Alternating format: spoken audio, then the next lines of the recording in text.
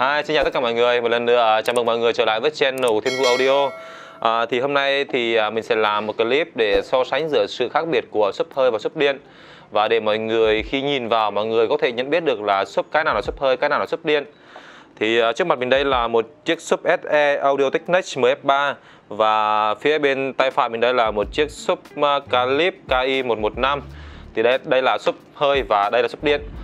Thì à, bây giờ mình sẽ đi vào vấn đề thì uh, thông thường là à, uh, súp hơi người ta sẽ hay sử dụng trong uh, quán karaoke kinh doanh cũng như là hội trường. Bởi vì là súp hơi thông thường sẽ là được thiết kế với công với công suất lớn hơn rồi là kích thước cũng lớn hơn so lớn hơn rất nhiều so với súp điện. Còn súp điện thì hay được phối ghép cho karaoke gia đình hoặc căn hộ. Còn nếu như mà ai mà thích đánh áp lực thích lớn thì mọi người có thể sử dụng ờ, uh, sấp hơi đưa vào gia đình cũng ok. Thì cái này là tùy vào nhu cầu sử dụng của mọi người thôi. Thì uh, cái này là sấp hơi thì như mọi người cũng thấy nó chỉ đơn giản vậy thôi. Một cái trạm và chúng ta lấy công suất từ uh, men đưa vào đây là xong.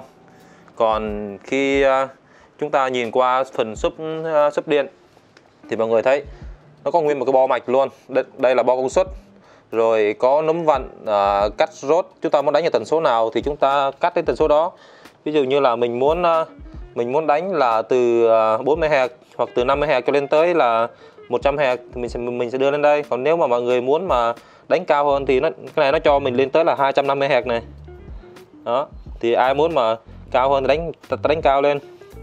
Còn đây là volume lớn nhỏ rồi à, đạo pha. Rồi nút nguồn.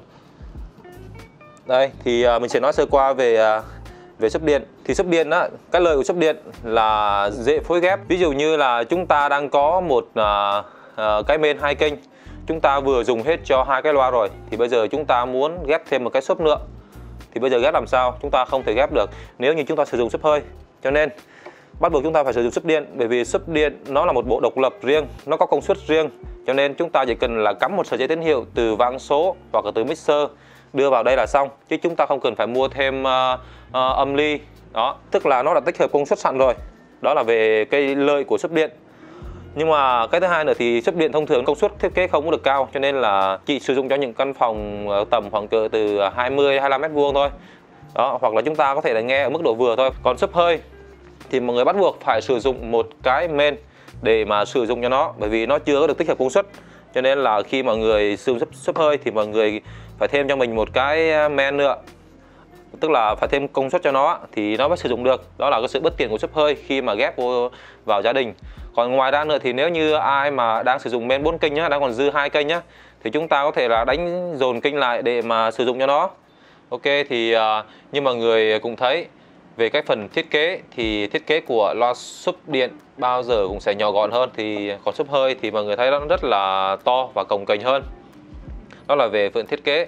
Thì uh, những căn phòng khoảng từ tầm uh, 15 20 mét vuông những căn phòng nhỏ thì chúng ta nên sử dụng súp điện để cái nhất là nó tiện nghi. Cái thứ hai nữa là nó không có chiếm diện tích của chúng ta quá nhiều đó còn à, những căn phòng khoảng từ tầm à, 25 30 mét vuông chúng ta muốn đánh áp lực lớn thì chúng ta có thể lựa chọn à, à, sub hơi để nó đánh áp lực hơn. Thì ngoài ra thì sub hơi nó sẽ là bị tốn diện tích của chúng ta hơn cho nên là những căn phòng lớn thì chúng ta có thể lựa chọn sub hơi. Cũng có một số khách là uh, dùng một lúc hai cái sub điện luôn.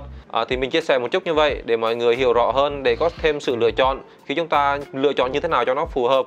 Thì uh, một lần nữa thì mình xin chào và hẹn gặp lại mọi người trong một video clip tiếp theo. À, nếu mọi người thấy hay thì cho mình một like, share và subscribe để mình có thêm à, động lực để mình chia sẻ thêm những cái kinh nghiệm mà mình có với mọi người. À, xin chào mọi người.